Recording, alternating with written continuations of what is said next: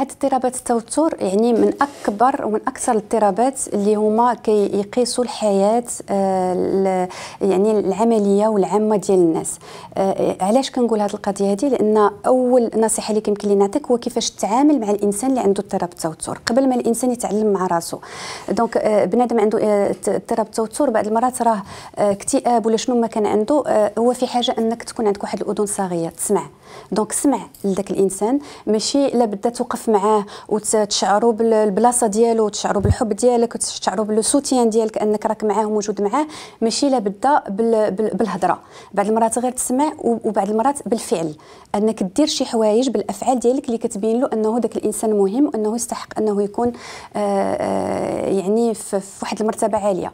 ما ما تحكمش على الإنسان ما توبخش الإنسان لأن عرف أنه هاد الأمراض هذه وهاد الاضطرابات هذه راه ماشي آه الواحد ما كيكونش مختار انه يكون فيها. راه ما عندناش كيفية الاختيار. هي أمراض اللي كتحكم في الإنسان وكيكون الصراع فيها صعيب بزاف. دونك هذا بالنسبة للآخر. عرف راسك أنه كيف ما تعاملتي معاه يمكن تكون أنت السبب في الشفاء ديالو يمكن تكون السبب في الانتكاسة ديالو. آه بالنسبة للمريض الومام على حسب ال ال يعني الاضطراب اللي غادي يعاني منه آه الواحد دائما يرجع للأصل ديال المشكل. نحاولوا نرجعوا للأصل المشكل بعدا نعرفوا أول حاجة هو التشخيص ديال المشكل.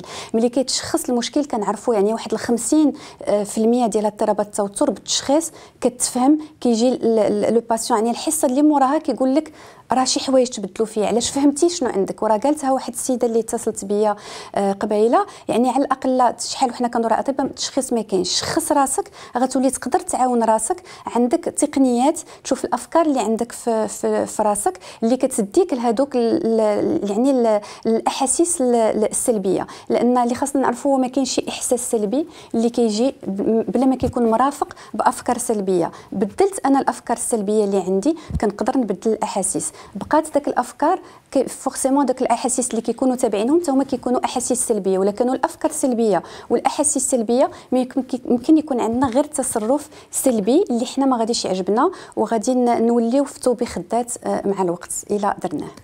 إذا أعجبك الفيديو لا تنسى الإعجاب والاشتراك بقناة شتا تيفي مع تفعيل الجرس ليصلك كل ما هو جديد. مع شتا تحلى المشاهدة شتا أول قناة فنية بالمغرب.